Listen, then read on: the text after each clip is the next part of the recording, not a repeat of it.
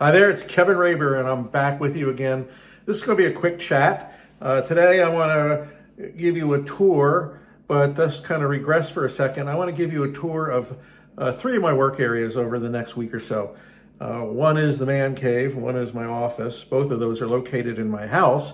And then one, we will go down to the Indianapolis Arts Center where I'm an artist in residence and have a very large studio down there to use, which is where my printing workshops and uh, projects and printers and such are, are located. Quite the place and very privileged to be there.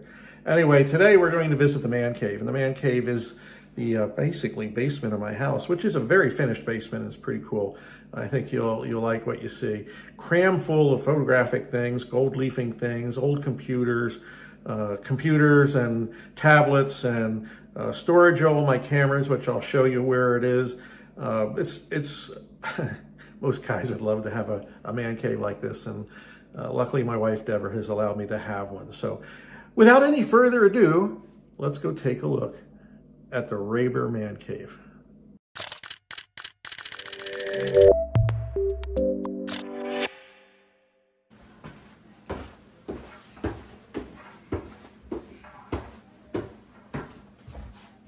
Hi there. This is the stairway to my man cave. I've got it lined with uh, some of my photographs and some of Deborah's artwork. Uh, we just painted the walls a really nice man color green. It's a pretty cool place. And anyway, uh, we go further on down here and we enter the man cave itself. Come on down. Welcome to the man cave. I'm very, very fortunate to have this beautiful space here in my home that I can uh, share with you today. And uh, this is where I come to do most of my work. Uh, when I'm home after dinner, before dinner, during the day, uh, this is the place I go when I actually need to get photography type work done. And I want to share a little bit of this area with you so you can get an idea of what it looks like. It's um, a very fun spot to work and there's a lot, a lot of stuff down here. So let's begin our tour. When you come down the steps into the man cave, you're greeted with kind of the nostalgic uh, area. You can see we have our Apple IIc computer. Uh, there are a number of books and uh, binders that I had from when I was working at Burrell Professional Labs. Um, you can see up high, hidden behind the basement sign, is an Apple IIc computer. I have materials up there for when I do gold leafing material. Like I said, my firefighting helmets, our Apple IIc computer, which still works. Every now and then we get it out and play Frogger with it. Down below here are some storage bins, which I use for lens wraps, all my old iPads, all my old laptops, all my old phones. I have every one of them. They're all stored perfectly and neatly in uh, those bins. So I really try to keep this place organized and uh, productive. After you come down the steps, uh, this is the view that you're presented with. Uh, it's a long, narrow area, although it's pretty wide. Everything is wood paneled and done very nicely. Uh, you can see on the top shelf over my desk area, I have a collection of Legos. Yes, I'm an avid Lego builder. I have a lot of Legos. It's something I do in my spare time to keep me uh, sane. It's good therapy. Uh, then you see my work area. That work area consists of um, a Mac Mini with uh, a BenQ 32-inch monitor, and you can see that I've got a Xencelabs 24-inch uh, tablet there, which is actually a screen. We'll look at that um, closely. Uh, followed by just a regular printer, and then off to the bottom right corner, you'll see the Epson P400 printer. This is what I use to make snapshots wirelessly uh, from my mobile devices while I'm in the home. So if I have guests over or something and we want to do activity pictures, they're all printed out on that little PM400 printer. And off to the left, you'll see two different printers. You'll see the P700 printer, and then further down the little area there, you'll see the P900 printer. Um, these uh, are always kept pretty busy. I'm always making some prints. And in addition to that, as you'll see when we do the tour of my upstairs office, I have an Epson 8550 printer, which I use quite a bit. One of the things I do want to show you is my secret room. You would think this is just a regular wall, but look, it goes into another whole storage room, a safe room, whatever you'd like to call it, but I have my tripod stored in there, uh, camera bags, uh, all sorts of uh, different things, old cameras and things like that. So uh, that's my secret room. Now this is another one of my uh, big shelf units and as you can see they're filled up and I'll walk you through a little bit about what you're seeing there uh, so you understand what we're looking at.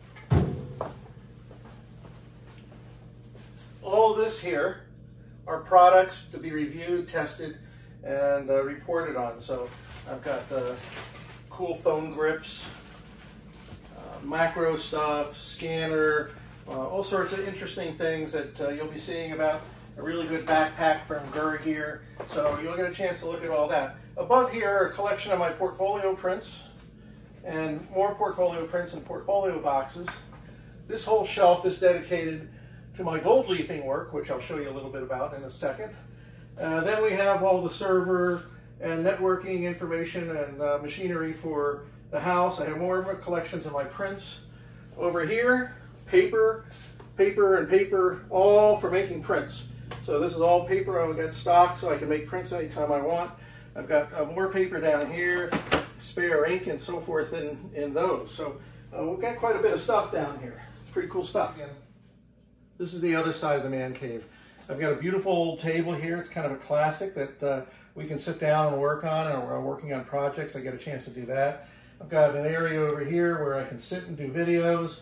Uh, a monitor we can either watch images, work on with the laptop in the AirPlay, or just watch TV if we're down here doing something. And in the back here, I've got two big camera cabinets. Uh, we'll go into those cabinets in a second. And a workbench, which is also a charging station, and I'll show you that close up also in a minute. This is uh, my workbench. Um, this is where I can uh, work on charging. I've got charging USB cables, all different charging uh, stations for the different cameras that I own, miscellaneous cords and so forth, tools, I've got a great good selection of tools and things that I might need for working with my cameras in these drawers. So this is a beautifully set area. It's got a good light. I've got a magnifying glass back here in case I need to use it for anything of uh, fine uh, detail. So another good area here that works out really well for me. Let me show you one of my main camera cabinets and uh, how it's set up. If you open the doors, you can see that I've got numerous shelves with lenses, cameras, accessories, um, all sorts of cleaning material, power packs, all sorts of different things that I might need in regards to photography. On the bottom shelf, I've got a pack made up, ready to go. And this contains all my Fuji, as I should make this clear, my wife's Fuji X uh, gear equipment that she can take with her when she needs it. So all we have to do is run and grab it. Pretty cool. Over here is another cabinet, which I use for filters, drones, all sorts of other things. Once again, it's neatly put together so you can work with it. Drones are on this shelf, miscellaneous things, gloves, connectors, microphones, walkie-talkies, um, old camera systems, and up on the top shelf is filters. You got paper cutters, mobile devices, attachments for action cameras, and so forth. So um, I store everything in these two cabinets and they work out really, really great. My camera kit is always ready to go also. Um, it contains two Sony uh, camera systems and lenses. It sits in an airport security bag. Let's take a look at it. One of the last things I want to show you is uh, my Go Kit for my Sony system. Everything sits ready to go in an airport security bag by Think Tank. And essentially, this is my preferred way of doing things. I've got a lot of accessories in the, uh, the flap here, uh, name tags, screwdrivers, plates, card readers, and then I've got my Sony a7R4. My favorite camera in the world, Sony A1. And normally I carry a number of different lenses in here. Right now I've got a 90 millimeter macro. I've got the 12 to 24. And on the camera itself, I have a 24 to 70 and a 16 to 35 on the A1.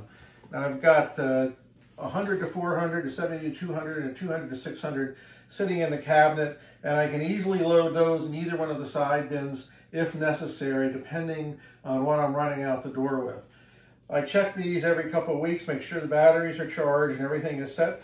I have neck straps in here, card readers, other devices, uh, gray cards and different things like that so that I can uh, pretty much go out in the field with this and be ready to go. So that's my Sony a7R4 A1 to go kit Two. Ready?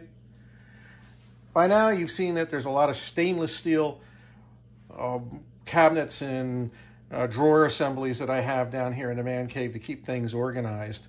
And uh, these are made by a company called Seville, Seville Classics. I bought them off of Amazon. I'll put the links in the uh, description below and in the article itself. And uh, these are really, really good. You, they come flat, so you have to screw them together, which is kind of fun. Each of those take about an hour or so to put together uh, and assemble, especially the ones with the drawers, because you have to build the drawers. No big deal. Anybody can do it with a screwdriver and Allen wrench. Um, there's a hardwood top and a handle. They're on wheels, so I can easily move them anywhere I want, especially since they're wireless. I can move them right next to me where I'm working on a printer and feed them, especially when I'm doing fine art printing. Uh, they've been really good. But let's take a look at what's inside uh, each of these. So this is the uh, cart that the P700 sits on. Let's take a look at this and then we'll take a look at what's in the cart for the P900. On the top drawer, I have uh, lighting, portable lighting systems like this, which I can uh, use for fill lights anywhere I want. So uh, got one, two, three, four, five of those. Um, this is a corner cutter for when I make prints, I can round off the corners. Uh, so a little bit of miscellaneous things in here. In the second drawer, I have a lot of grips. These are used with my action cams, uh, mini tripods, clamps, and so forth like that. This drawer is a print drawer, so I have a lot of prints in here before I move them over to portfolio boxes and so forth. So this is just a good size drawer that'll hold a lot of different size prints. Ink. This is for the uh, P700 as well as the EcoTank printers, the 8550 and the office printer that I have that work with EcoTank. This one's uh, pretty empty at this point, so I've got some plans for it, so I don't think it's not going to happen. And then in the bottom, we have uh, packing supplies, uh, cases for speakers, extra paper, and so forth like that. This is the cart that my P900 sits on, and I also have a lot of camera uh, loose gear. How many of us don't? Let's take a look at what we have in there.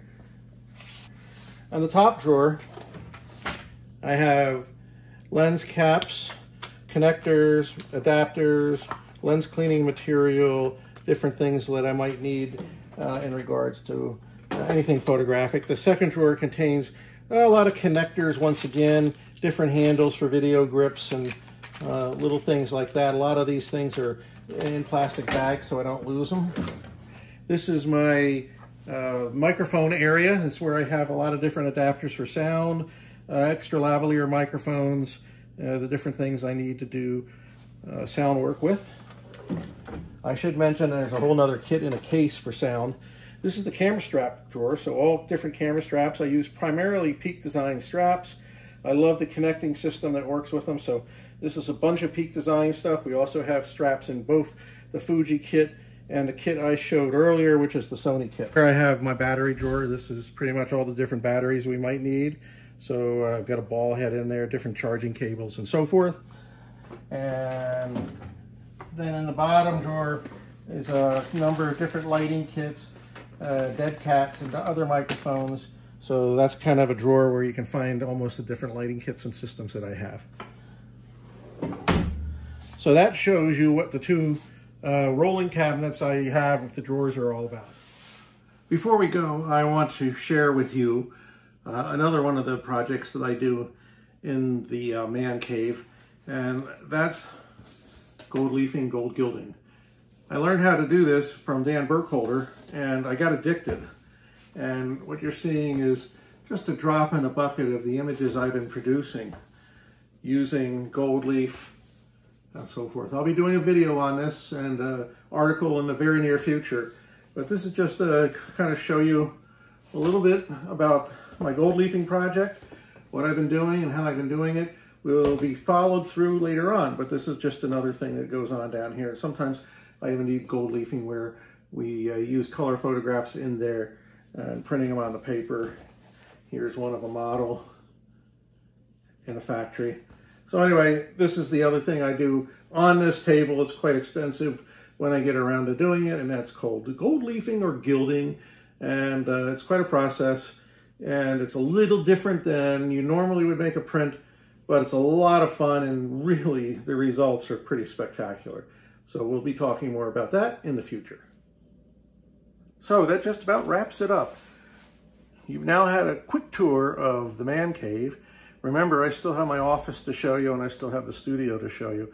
But uh, this man cave is a great place for me to retreat my own home. Great place where I can be creative, explore new things, learn new things, and share things with my friends and others that come and make a visit to our home. If you're in Indianapolis, let me know. Love to have you come over and see the man cave show you my office, and heck, we can go down to the studio and make a few prints. Anyway, this is Kevin Raber, and thanks very much for being part of the Photo PXL family. I hope you enjoyed this little tour of the man cave, and I'll see you again real soon.